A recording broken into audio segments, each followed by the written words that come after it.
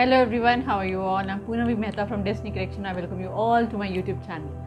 तो आज मैं एक नई वीडियो के साथ आपके सामने हूँ आज हम बात करेंगे न्यू मून की यस न्यू मून जिसको हम कि हम अमावस भी कहते हैं अमावस्या कहते हैं और दो तीन दिन में ये आ रहा है तो पिछली जो वीडियो मैंने फुल मून पे शेयर की थी जिसमें मैंने मून वाटर के लिए बताया था तो उसका काफ़ी अच्छा रिस्पांस रहा एंड पीपल वर लाइक कि अब फुल मून की दी है तो न्यू मून का भी कोई रिचुअल होगा तो मैंने कहा डेफिनेटली काफ़ी रिचुअल्स होते हैं जो हम फुल मून और न्यू मून पे करते हैं।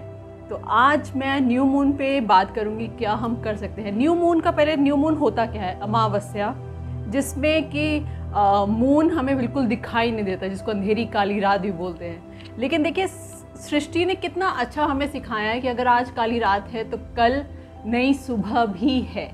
तो उसी से ही कितना अच्छा देखिए, एक लेसन है लाइफ में कि अगर आज हमारी लाइफ में या किसी की भी लाइफ में थोड़ा सा अगर प्रॉब्लम है तो उस, कोई बात नहीं, वो टाइम में निकल जाएगा क्योंकि उसके बाद एक नई सुबह होगी। तो न्यू मून भी हमें यही सिखाता है कि अगर आज काली रात है तो definitely there will be morning there will be good opportunities new opportunities new beginning in your life तो न्यू मून पे हम ऐसा क्या कर सकते हैं जिससे हम अपनी लाइफ में चेंजेस ला सकते हैं, अपनी अच्छी चीज़ों को मैनिफेस्ट कर सकते हैं अपने लाइफ में? मैंने पहले भी अपनी वीडियो में बताया था कि जो मून है, वो हमारे मन का कारक है, चंद्रमा को मन का कारक भी कहा जाता है और न्यू मून और फुल मून महीने में ऐसे दो दिन हैं जिस टाइम एनर्जीज़ बहुत हाई होती हैं और हम जो भी चीज़ चाहें अपनी लाइफ में मैनिफेस्ट कर सकते हैं, अगर हम लॉ ऑफ़ अट्रैक्शन को भी इसके साथ, इन एनर्जीज़ के साथ जोड़ दें। तो आज हम बात करने वाले हैं कि न्यू मून पे हम क्या करें। पहले तो न्यू मून का अर्थ क्या है? अमावस्या जिसको कहते हैं। अमावस्या मीन्स के अंधेरी काली रात, जिसके बाद न्यू बिगनिंग होगी, ठीक है? सो ऐसी न्यू इंटेंशंस जो आप अपनी लाइफ में मैनिफेस्ट करना चाहते हैं, ऐसे न्यू अपॉर्चुनिटीज़ जो आप अपनी लाइफ में चाहते हैं, इसको हम अट्रैक्ट कर सकते हैं इस दिन, ठीक है? तो सबसे पहले हमने क्या करना है? सबसे पहले जो चीज़ हम सुबह उठ के मॉर्निंग में अपने घर में करेंगे क्लिनजिंग बिकॉज़ कोई भी चीज़ अगर हमने नई डालनी है तो पहले जो हमारे ग्लास में है, उसको तो निकालना ही होगा, तभी हम उसमें साफ़ चीज़ डाल सकेंगे, ठीक है? तो जिस दिन भी न्यू मून है, उस दिन आप सुबह उठेंगे, अच्छे से अपने घर की अपनी क्लिनजिंग करेंगे सॉल्ट वाटर बाथ लेंगे, अपने घर में नमक का पोचा लगाएँगे, ठीक है? पूरा अच्छे से धूप दीप दे के so that negativity goes out and you are ready to attract abundance attract prosperity attract new beginnings ठीक है? तो ये तो हो गया सुबह का काम। उसके बाद आप नॉर्मल जैसे आप दिन बिताया, उसके बाद रात को आठ बजे। आप क्या करेंगे? आठ बजे के बाद। आठ बजे के बाद मैं इसलिए कह रही हूँ कि उस टाइम सब लोग घर भी आ जाते हैं और मून भी आ जाता है, उस दिन तो खैर नहीं होगा, लेकिन फिर भी उसकी एनर्जीज उस टाइम होती हैं तो इसीलिए मैंने बोला आठ बजे के बाद। आप ये रिचुअल कभी भी कर सकते हैं, चाहे आप दस बजे करें, चाहे आप ग्यारह बजे करें इससे कोई वो नहीं है, जब भी आपको टाइम मिले, आप ये कर सकते हैं। तो उसके बाद आपने क्या करना, आपको चाहिए क्या? एक तो कैंडल चाहिए। कैंडल आप कोई भी नॉर्मल घर में कैंडल होगी, वो ले लेंगे, नहीं तो टी लाइट कैंडल नहीं है टी लाइट है तो वो ले लीजिए टी लाइट कैंडल ले लिया एक पेन एक बड़ी सी प्लेट जो कि फायर प्रूफ हो तो इट्स बेटर कि आप स्टील की प्लेट ले लें। ठीक है, वो ले लिया और एक नॉर्मल पेपर नॉर्मल पेपर तो हम करेंगे क्या हम लिखेंगे लेटर टू यूनिवर्स यस आजकल हम ऑब्वियसली लेटर्स लिखते नहीं हैं क्योंकि मोबाइल आ गए हैं व्हाट्सअप आ गया है। बट आज हम लेटर लिखेंगे यूनिवर्स को क्या बताने के लिए कि क्या हमारी विशेज़ हैं क्या उसको हमें देना है ठीक है? What we want to manifest in our life ठीक है? लिखने से क्या होता है? देखिए हम बोल भी सकते हैं ऐसा कुछ नहीं कि बोलेंगे तो विश पूरी नहीं होगी।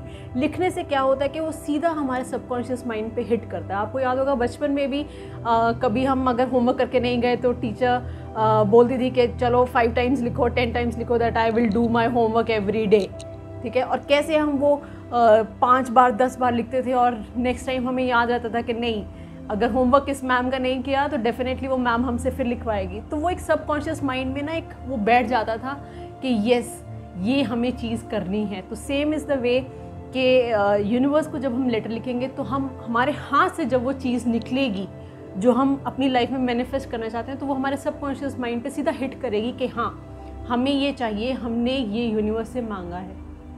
ठीक है तो आप लेटर में सबसे पहले जैसे हम किसी भी अपने से अपने दोस्त को या अपने किसी चाहने वाले को लेटर लिखते हैं तो we will write dearest universe love you ठीक है? देखिए यूनिवर्स है, मैं तो यूनिवर्स से प्यार करती हूँ, हम उसी के बच्चे हैं और अगर हम उससे प्यार करेंगे तो वहीं से हमें सब कुछ मिल रहा है। ठीक है?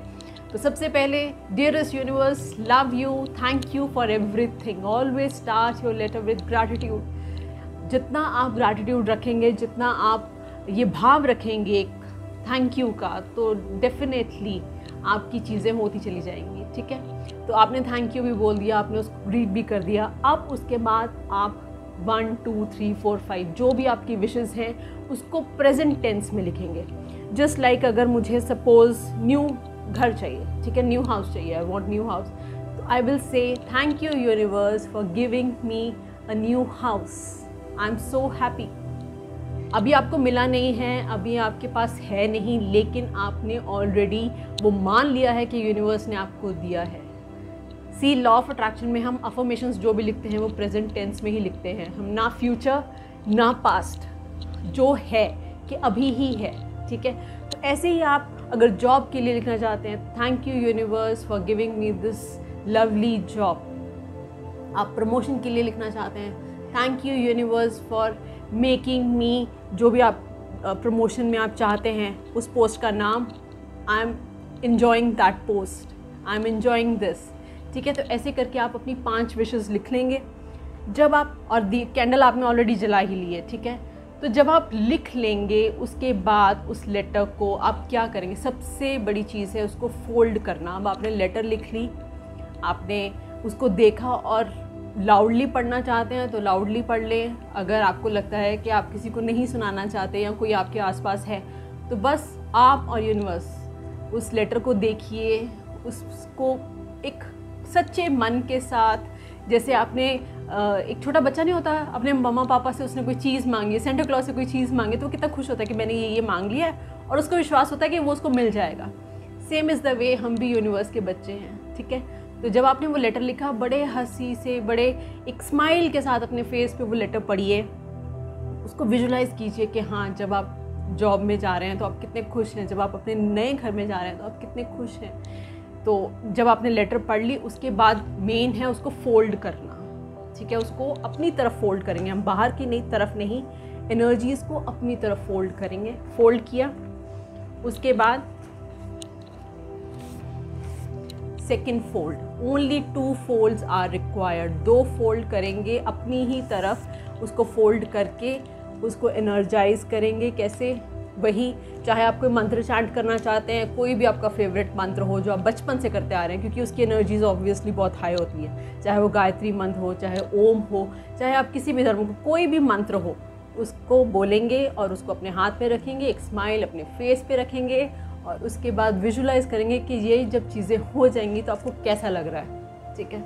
तो जब ये हो जाए, आप अगर रेकी जानते हैं तो रेकी से इसको कनेक्ट कीजिए यूनिवर्स एनर्जीज के साथ विद द कनेक्टिंग सिंबल उसके बाद जो सिम्बल्स आपको आते हैं, जिससे आप अट्यून हैं, वो डालिए और रेकी दे दीजिए। ठीक है? जब ये हो गया, ठीक है? नाउ यू आर सेटिस्फाइड के सब हो गया है you are happy now now what you will do कि जो, इसके दो तरीके हैं। या तो आप ये जो लेटर लिखी है, इसको आप अपनी किसी ड्रॉर में या अपने आ, कहीं भी सेफ़ जगह पे रख लीजिए ठीक है? दूसरा तरीका क्या है? इसको आप यूनिवर्स में भेज दीजिए। वो आप कैसे भेजेंगे? जो आपने कैंडल चलाई है उसमें आप इसको बर्न कर देंगे ठीक है? Be careful when you are using candle क्योंकि वही है कि आप कैंडल यूज़ कर रहे हैं फायर यूज़ कर रहे हैं तो बी लिटिल मोर कॉन्शियस तो जब आप इसको बर्न करेंगे उसके बाद बर्न करके जो एशेज आएँगी that you can just blow in the universe आप अपनी बैल्कनी से या टेरेस पे जाके उसको ब्लो कर देंगे और फिर भूल जाएँगे। फिर आपने उसके बारे में सोचना नहीं है कि आपने क्या किया है, आपने क्या लिखा है और एक छोटी सी प्रे करके यूनिवर्स के साथ आप अफर्मेशंस भी दे सकते हैं। अगर आप कहेंगे, मैं न्यू मून की affirmations I will also share तो आप अफर्मेशंस दीजिए थोड़ा सा टाइम स्पेंड कीजिए नेचर के साथ और एक सेटिस्फेक्शन के साथ कि हाँ मेरी लेटर यूनिवर्स के पास पहुँच गई है, अब उसका काम है, उसने करना है, ठीक है? अब क्या है? अब लॉ ऑफ़ अट्रैक्शन यहाँ कैसे काम करेगा? एक तो आपको क्या नहीं करना? आपको डाउट नहीं करना, ठीक है? कोई भी हम रिचुअल करते हैं, कोई भी लॉ ऑफ़ अट्रैक्शन की टेक्निक करते हैं तो we should not doubt on that अगर डाउट आ गया तो इट मीन्स वो तो आपने एनर्जीज पे ही डाउट कर दिया तो वो काम होगा ही नहीं, ठीक है? आपने सरेंडर कर दिया, आपने लिख दिया और यूनिवर्स में लेटर अपनी भेज दी है तो वो उसने अपने आप, वो काम, वो अपने काम पे लग गया है बस, ठीक है? तो अब ये आपका रिचुअल अब पूरा हुआ और अब आप अंदर आके नॉर्मल जैसे आप नॉर्मल आप भूल भी जाएँगे कि आपने किया किया भी क्या था, ठीक है? तो ये आपको हर न्यू मून करना है। वैसे तो लोगों को फ़र्स्ट मून के बाद फ़र्स्ट न्यू मून के बाद ही रिज़ल्ट आ जाता है। कईयों को तीन चार महीने लग जाते हैं, कईयों को छः महीने। जैसे मैं भी काफ़ी महीनों से कर रही हूँ तो I am able to see the difference difference आ रहा है। आपकी पर्सपेक्टिव चेंज हो जाती है टूवर्ड्स लाइफ आपके पास अपॉर्चुनिटीज़ आनी शुरू हो जाती हैं। आपको और कोई नेगेटिव कोई चीज़ हो, उसमें भी पॉजिटिविटी दिखनी शुरू हो जाती है। तो ठीक है, ये चीज़ें होंगी, सब होगा, लेकिन आपको सरेंडर मोड पे रहना पड़ेगा विच इज़ वेरी इंपॉर्टेंट बाकी वो करने वाला तो वही है, उसी ने करना है. इन डेस्टिनेशन ऑलवेज से बिलीव एंड रिसीव ठीक है? एक बार करके देखिए, इन एनर्जीज़ को डेफिनेटली हाँ पेन कौन सा यूज़ कर, करना है? ब्लू पेन या रेड पेन इन दोनों पेन में से आप कोई भी पेन यूज़ कर सकते हैं. कैंडल मैंने आपको बता दी, कोई भी आपको कैंडल चाहिए पेन चाहिए एक पेपर चाहिए और एक प्लेट चाहिए, उसके बाद एशेज़ को आपने फ्लो कर देना है। और अगर आपको जलाना नहीं है तो अपना पेज आप अपने सेफ़ में रख सकते हैं। और अगले न्यू मून पे आप फिर एक न्यू चिट विश लिस्ट ये बनाएँगे फिर वही टेक्निक करेंगे, फिर वही सब कुछ करेंगे। तो gradually you will be able to see the difference और जैसे जैसे आपकी विश पूरी होती जा रही है तो आप उस विश को हटा देंगे, नई विश लिख देंगे। ठीक है? तो ये छोटा सा रिचुअल है, जो कि बहुत पावरफुल है, छोटा है, लेकिन बहुत पावरफुल है। क्योंकि आप अपनी इंटेंशन सीधा यूनिवर्स पे भेज रहे हैं, ठीक है? तो होपफुली आपको ये अच्छा लगा होगा।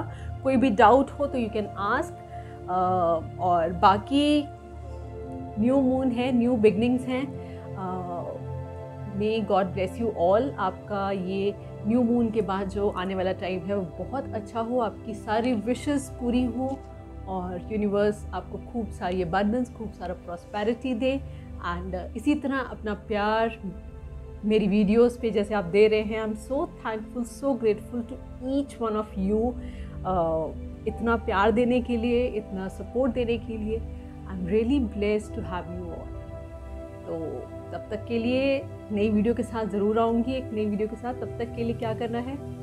Do like share subscribe and comment on my YouTube video God bless you